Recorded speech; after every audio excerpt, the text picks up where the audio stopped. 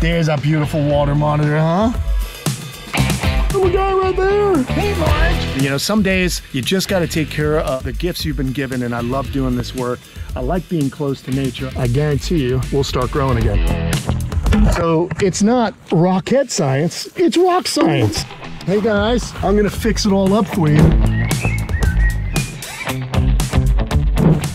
Hey, what's going on everyone? Today we got some maintenance to do here on Caiman Creek because it sprung a leak. That happens from time to time. Every once in a while, things settle in after you get a new enclosure or water feature and you've just got to dial things in. What I noticed the other day is that the pond was getting low here and uh, we don't want that.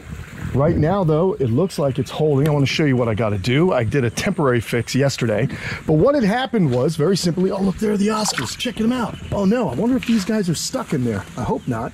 Maybe they got stuck in there when the water got low, but it looks like there's a cave, so maybe they should be able to get out. I'll keep an eye on them. But anyhow, very simply, guys, uh, this eroded. Some of the soil went that way, and so there was a dip in our liner here. So what I'm gonna do is I'm gonna place this rock in a better way. We're gonna get it situated. Obviously the water is holding now, so that's good news, but we're gonna decorate this up again and just make sure it doesn't actually uh, fall apart again. So probably a few more rocks in here just to brace this and uh, yeah, a little soil, some more gravel over there, and then this will get hidden. It'll be nice and high and we won't have any more drama as far as leaks are concerned. But that's not all. We also did some some work. We, meaning me, uh, did some work. Hey, wait, before I go, let's just see what's going on with the caiman. Uh, I think they're in their cave. Yeah, there's caiman in the cave right there. They're happy little guys. Let's go see them on their, uh, see their front sides. Very good. Let's see these little front sides. Hey guys, I'm gonna fix it all up for you, is all right? There you go, look at those guys. Beautiful smooth front caiman. These guys are from South America and they are a dwarf caiman species that's as big as they get. And uh, yeah, so that's why we made good old Caiman Creek. Anyway, I need to check on some of my handiwork from yesterday as well because Slinky's uh, enclosure had a little issue and it was losing water as well. Uh, as you can see, I did a lot of work here. I kind of uh, had to trim a lot out of this enclosure. I got to clean this all up today as well.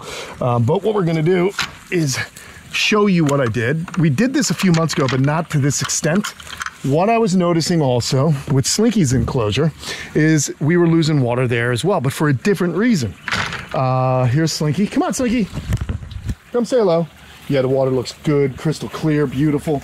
Um, what I was noticing is this basin was getting much, much lower. Here he comes, look at this guy. There's a beautiful water monitor, huh? That's a good guy. I love you, buddy, you're awesome. So, very cool lizard, love it in here. But what I did was I noticed that water was kind of backing up here. And you can see the liner here. So the water was backing up because we had so many plants, they were clogging the flow. So you got to really get in here and trim it all down. And that's exactly what I did. I really went to town and cut back a lot of the plants.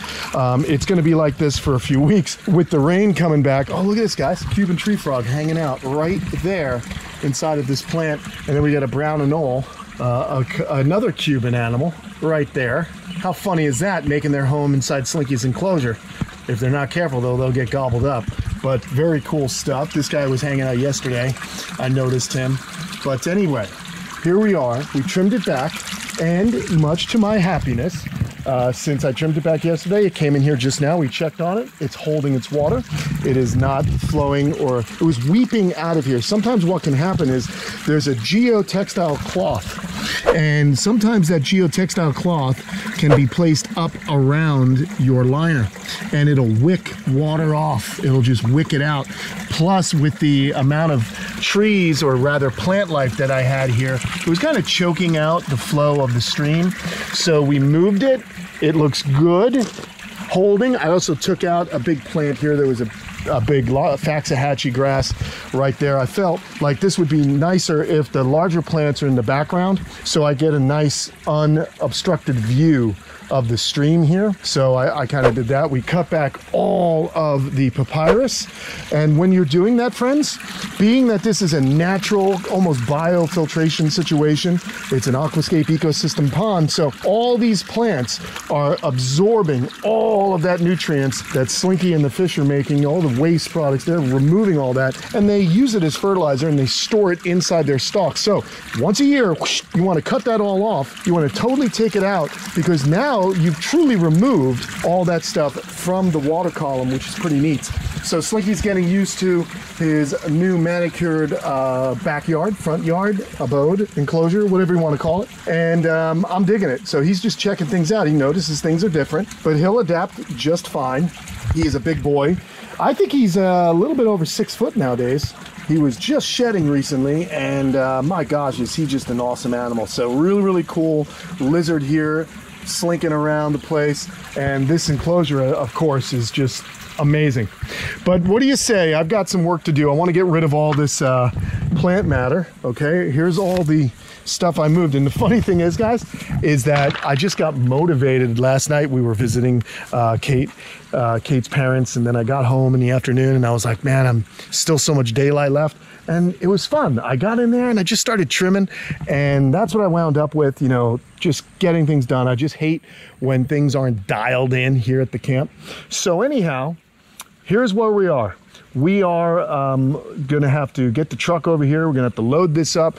Uh, I want to attack that first, dial that all in. So, what I'm going to do is head on over here to my rock pile. I highly suggest getting a rock pile. Just collect as much as you can because it comes in handy. This is kind of like we've got cinder blocks that I need to use. We got railroad ties. People have given me these really cool stepping stones that someone was going to throw away, and I went and I collected. All these come in very handy. Some posts.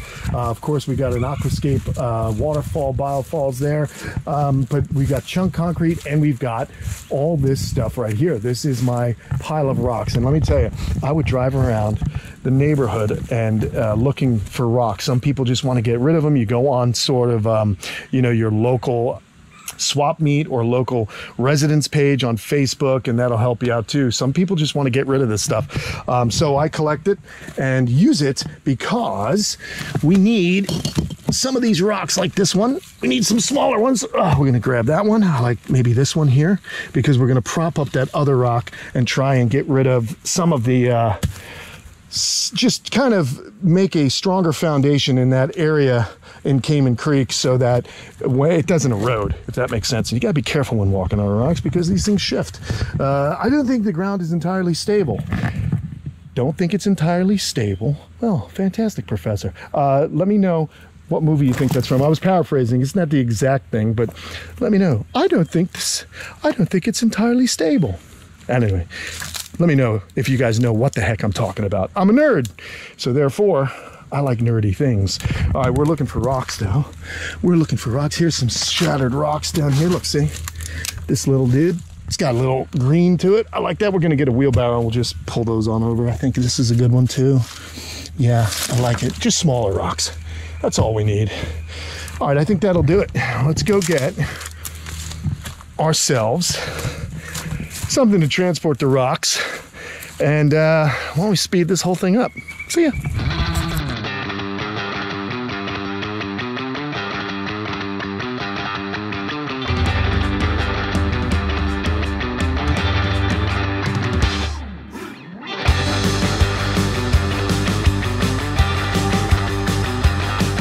Uh, we are back, friends, and uh, we've got rocks, and I also got some gravel here because what I think I want to do to help lock everything in place is we're going to go ahead and put some gravel in here. Uh, we're also going to tuck this in a little bit. So I want to fill up this void with some gravel, and that's what we're going to do right now. So let's get to it. Uh, another thing you gotta, to find a leak, friends, um, you wanna check the waterfall areas because that's usually an area where you might see a leak. Um, but in this case, this is the bottommost pool of Caiman Creek. And I noticed this was the only one that was lower than the others. So there was something amiss here. And that's when I started to realize, aha, here is the culprit. So let's go ahead and put you guys right down here. I hopefully you guys can see me. So what we're gonna do is just start to get a few of these pieces of gravel in the back end here. There we go. We're not gonna fill it all the way up yet. We're just gonna give it some form and it's also helping this rock lock in because we don't want to fill it totally up at the moment because I want to tuck this. You see, you want to tuck this liner in to kind of hide it better. So we're gonna just tuck it and we're gonna place maybe a larger stone right here and then we'll fill the rest in with the gravel. So let's look at what we got. What did we get here? What do you think? What do you say? I think maybe this one, if I can lift it. Yep, I got it. This one right here, we can hide this stuff like that. See, that's what we're trying to do. It's not pushing down on it, but it is in fact hiding it. I also pulled these out yesterday when I noticed this. So you just want to kind of get these rocks that can kind of cover. The larger rocks will cover anything that looks man-made, okay? Got these guys here. You know, you want to cover this stuff. And then what we'll do is now we take our smaller gravel and we just go for it. We just get that gravel all situated in here. But before, you know, before we do that, I am gonna go ahead. Let's get this hose out of here, people. I use the hose to fill the pond back up. And I temporarily, as I mentioned, fixed that leak and it held. So I know that is in fact the trouble spot. Let's get some more rock. And we're just placing it down in here to brace that. That's in fact what we're doing. We're bracing this up, okay? Very fun. This is fun stuff, man. You know, maintenance is necessary. Things happen. You got to know how to fix them. And that's why I'm here, friends, to help you in case you one day get your own aquatic ecosystem. Let's get some of these bigger rocks in here because those smaller rocks are going to, in fact, lock everything in. And the bigger rocks, of course, are helping to hide the liner. Plus the plants and stuff as they grow will hide them as well. That's what we're doing. Okay, here we go. Rocky, rocky, rocky, just pour it in. I got plenty more where this came from. If I need more, I'll go back and get it. Okay, so it's not rocket science, it's rock science. You're just gonna spread it around. All right, it's gotten in, it's getting into all those little grooves. See this? I just kind of mush it around, let it get in there, let it try and settle on up. And now we've got a hidden, like repaired, uh, kind of weak area that's been repaired. Very, very good. So all these little plants, watch this. I guarantee you this little dude will start growing again. So we'll get plants all over this. It'll look really cool. My work is done in this area. I love it. Very simple. I like simple, man. I don't like big projects uh, or big problems rather. I don't mind big projects, but I'm glad this wasn't a major catastrophe of a leak. Um, very rarely will you have those. Have never had an actual leak in the liner, knock on wood, which is good. What we have to do now is I've got to go get my truck. We're going to load all this stuff up. We're going to load it and we're going to uh, dispose of it. And uh, you guys are coming with me, but don't worry because it won't take very long. And then finish out by hanging with some of the critters.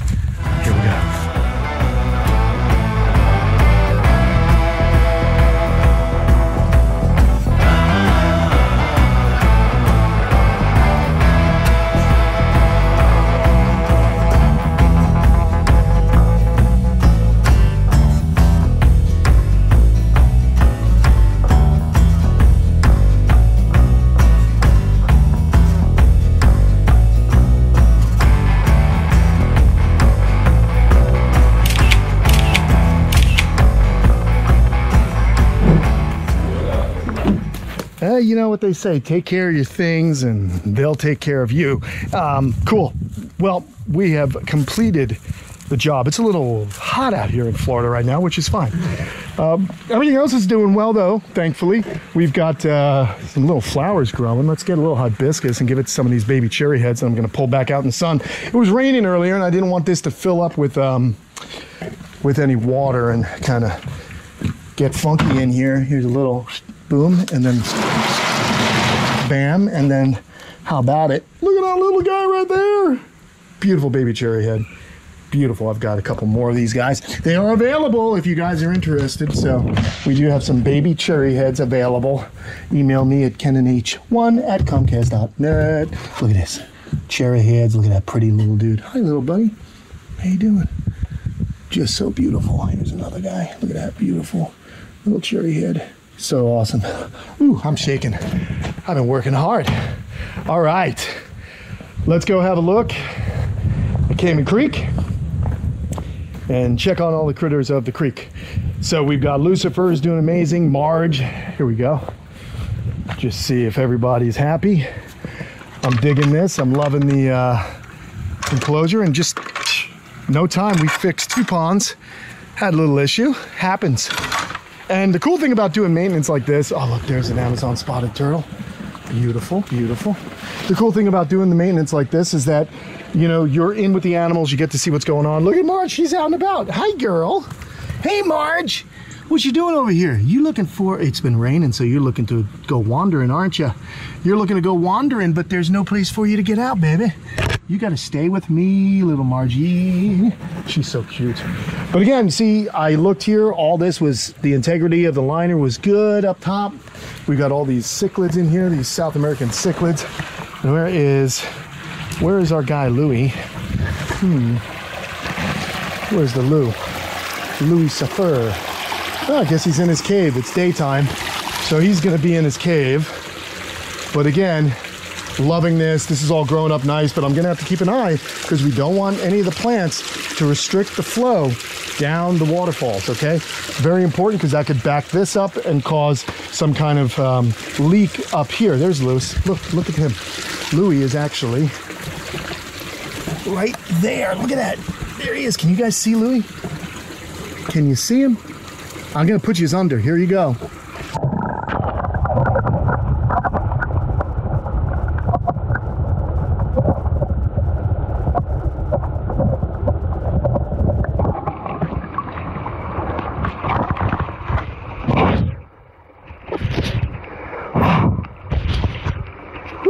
How cool is that? little underwater Louis sleeping. Very cool. So it's fun to come in here. I get to check up on the animals, make sure they're behaving normally. Uh, I actually like maintenance. Um, it's fun. It's it's good because I want to know more about how to fix things.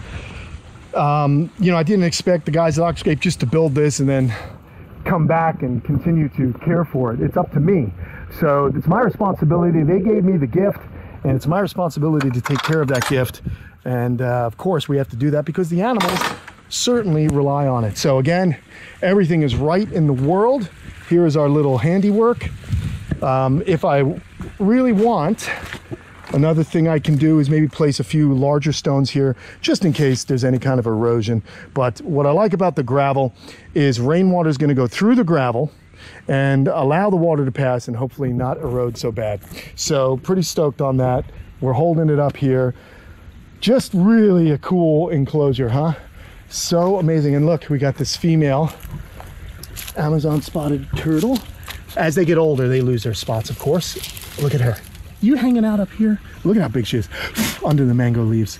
Side neck species, Podocnemis unifilis was once widely found in the pet trade and now uh, it is on CITES 1 as an endangered animal. Let's go ahead and put her over here. Hi lady. Hey you beautiful girl. I just love this species. Nice and gentle. There you go. Nice and gentle. There she goes. That's a beautiful turtle, huh? Oh my God, I love it. She is a big lady. So hopefully we'll get some babies out of them because in each enclosure there's 1.1, which means one male, one female. So hopefully they'll reproduce that would be great. But again, blue acara, convict cichlids. We've got up there the Oscars. They made it back over here, so clearly they can move between both pools easily. And uh, like I said, overall, friends, uh, a little bit of work goes a long way. Um, I just want to show you guys everything, man. You know, some days you just got to take care of the gifts you've been given, and I love doing this work. I like being close to nature. I like kind of, uh, if you will, guiding nature, which is what these ecosystem ponds are. We're using nature, and then you can just kind of be something of an amateur botanist and kind of trim gardener, whatever. It just gets you close to your animals, and that's important. Okay, enough yapping. I did this for them. I'll see you guys soon. Thanks so much. I hope you guys enjoyed the video and learned a little bit of something. There are our two friends right now. I don't want to get too close because I want to keep my hands, but uh, love the smooth front caiman. Let me know what you guys think of the smooth fronts and Lucifer and all the animals here at the camp. Go ahead and leave me a comment below. Did you learn anything from this video? I hope so. Uh, it's great to get out there and work. Don't be afraid of it. Take care.